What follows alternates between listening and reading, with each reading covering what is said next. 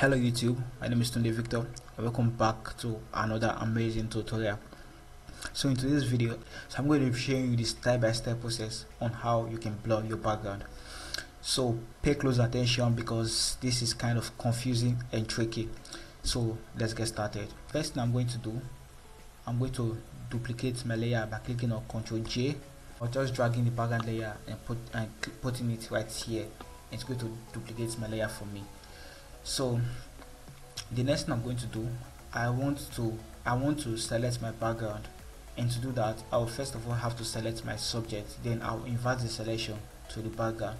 So let me show you how to do that. You come to a quick selection right here. This is a quick selection. And um, I'm just going to name this um, background copy. Just going to name this subject. So this is my subject subject so you can follow along. So this is my subject layer. I'm just going to click on select subject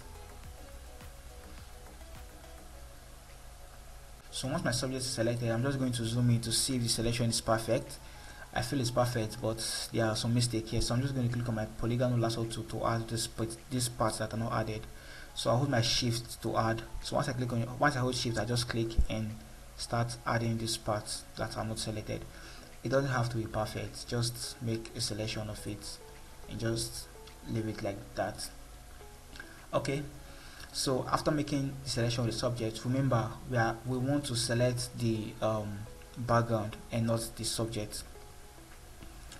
So to do that I will have to invert this my selection to the background. And to invert my selection to the background I'll click on Ctrl Shift I so once I click on Ctrl Shift I, you can see the selection has been inverted to the background. And I'm just going to click on Ctrl J to cut my subject out of the background. Right now if I turn off my subject layer you can see it mainly just the background my subject is no longer there. So that's the first part of it. So the other part you come back to your subject layer right here.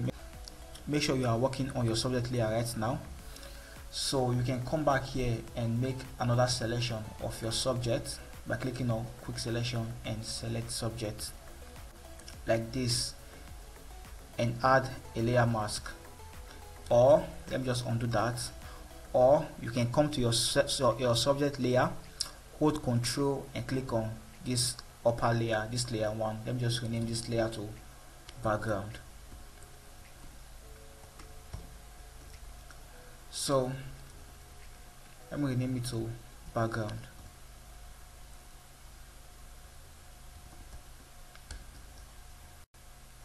So you come to your subject layer and just hold control and click on your background layer. So once you click your background layer it's going to bring back your background selection.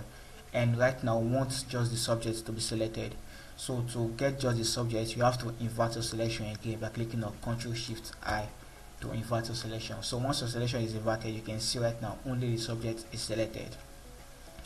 So like I said this um, this is kind of tricky and confusing. So you can just watch this video over and over again to get it right. Um, when I started learning how to blur background it took me a while to get this technique. So just keep practicing keep watching and you're going to get it eventually. So after selecting the subject all you have to do is click on your layer mask so once I click on my layer mask I've successfully cut out my subject out of the background. So what I'm going to do next I'm going to be working on the background alone.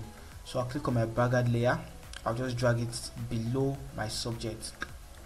I'll just drag it down below my subject like this. Make sure my subject is on top and my background layer is on is below my subject layer.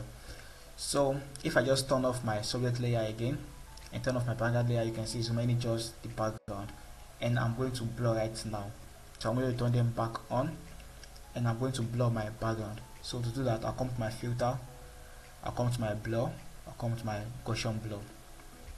And I'll just choose any radius I want.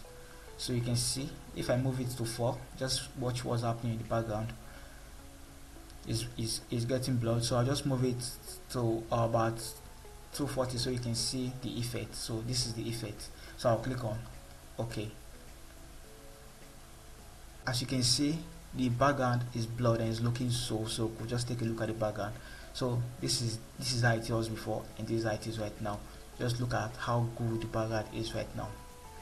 So if I turn off my subject and turn off my background you can see just the background has blurred this is my background layer that is being blurred. So once I turn on my subject again and turn on my background layer you can see the image is back to normal. So this is how you blur your background in Photoshop. If you like this video or you learn anything from this video leave a like leave a comment. If you are new here hit on that subscribe button so you can get more amazing videos like this in the future. I'll see you guys in my next video. Stay creative